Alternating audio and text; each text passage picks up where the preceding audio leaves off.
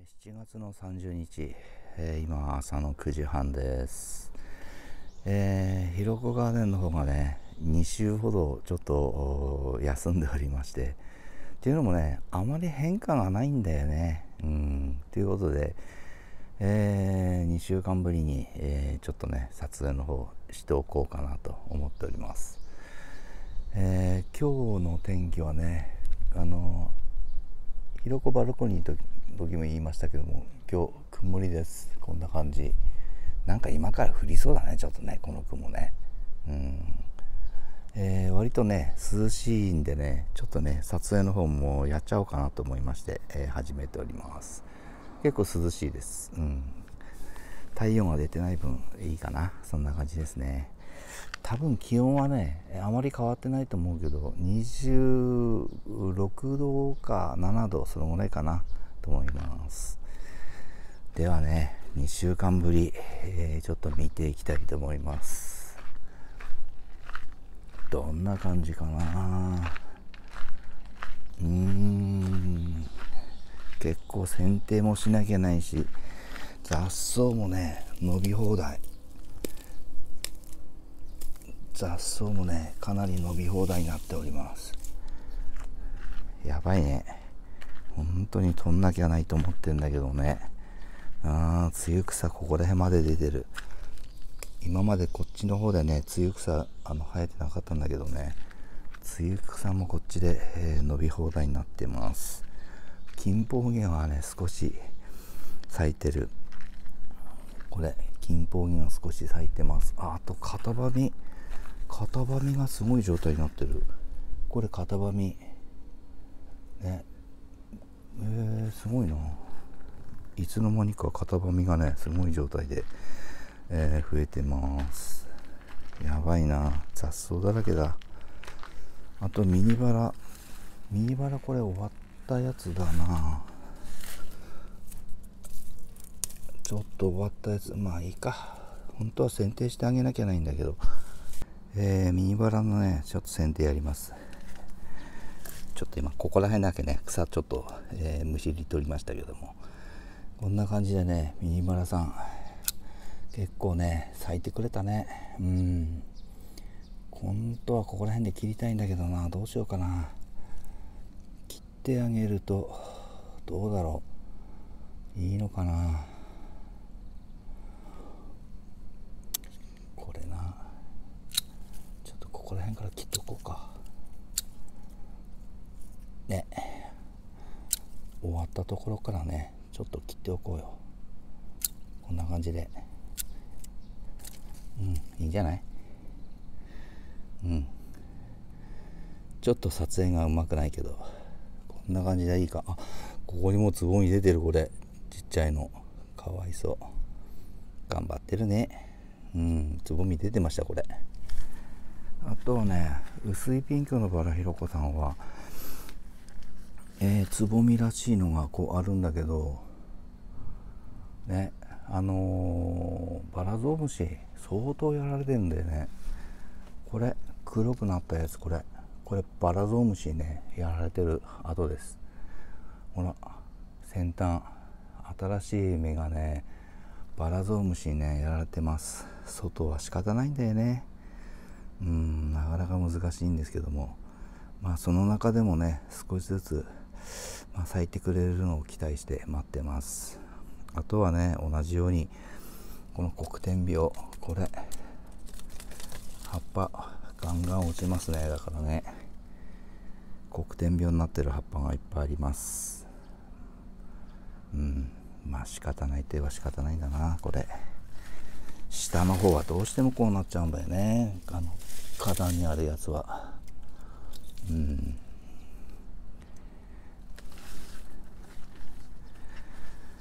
こんな感じでしょうかね。それと自前のバラさん。自前のバラさんもねこっち側前回少し剪定してあげた後はあまり変わってないかな。うんそんな感じだね。あとはロマンティックアンティーク。こっちもあまり変わってないな。うん。まあ太陽当たるようにねちょっと剪定はしてあげたんだけどね。もうちょっとだけ取ってあげようかなここら辺、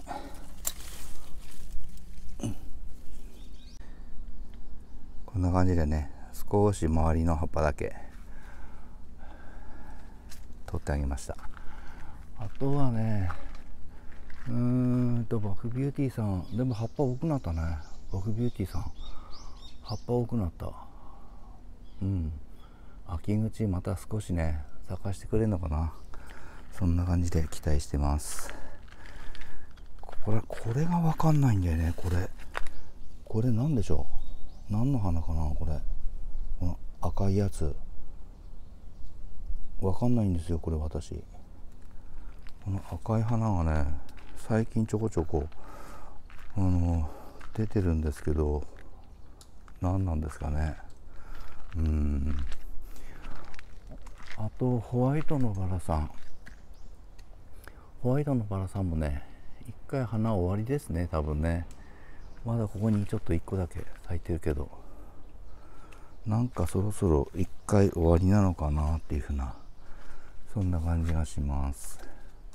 あとこの中でもこれシュートだなこれ。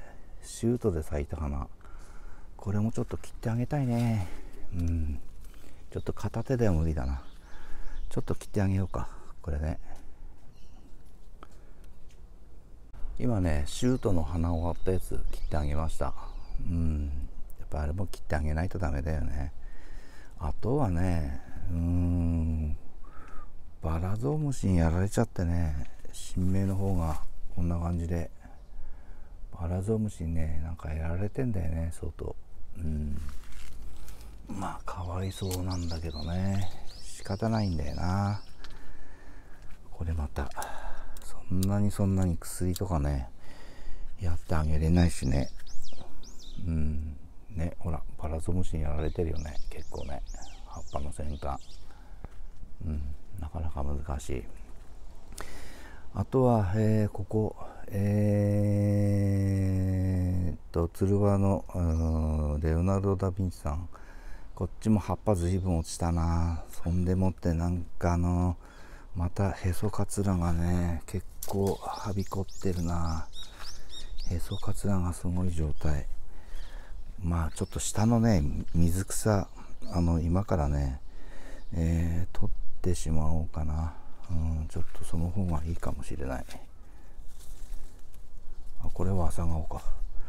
うんそんな感じだね。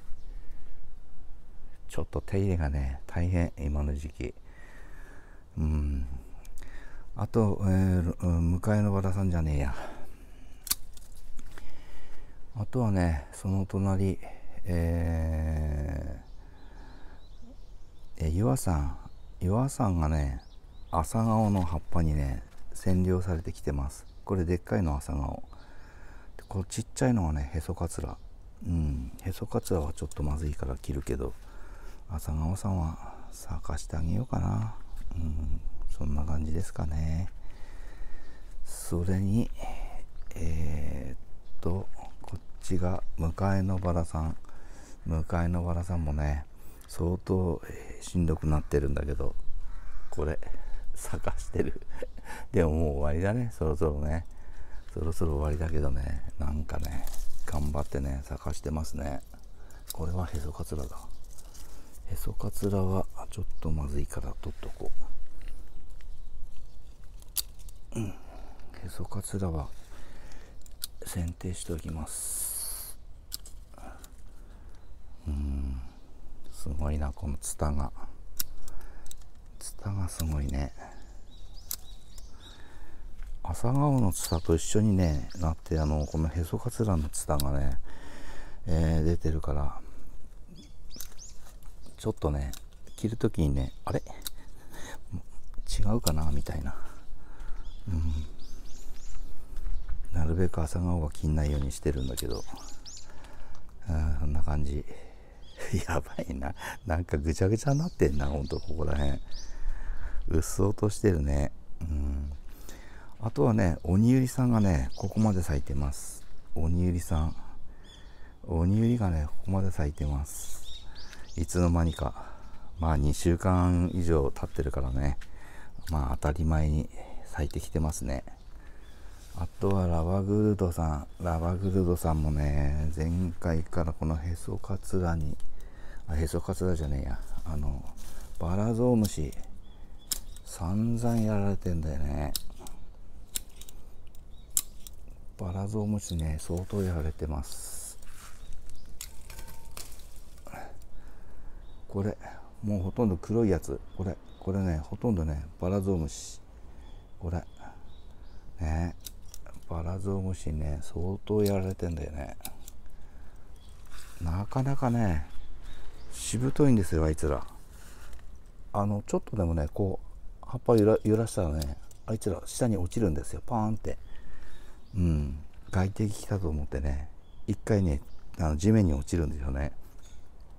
そんでもってねまた何時間かかけてね先端まで行ってねまた食い荒らすんですよね。そういうやつらなんであの見つけたらねもうさあの殺虫剤？うん。フマキラーでも何でもいいから殺虫剤ジャッとね殺すしかない、うん、それを殺さないでおくと一旦下に落ちてまた復活してくるみたいな。そういうやり方するからね。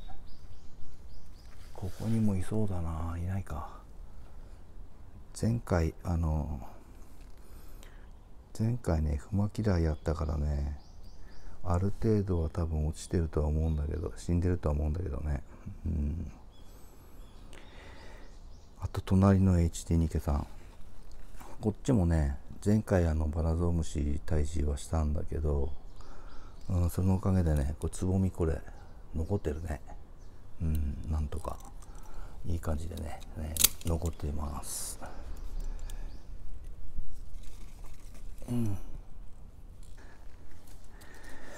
あとはすごいな。水草がいっぱいになってる。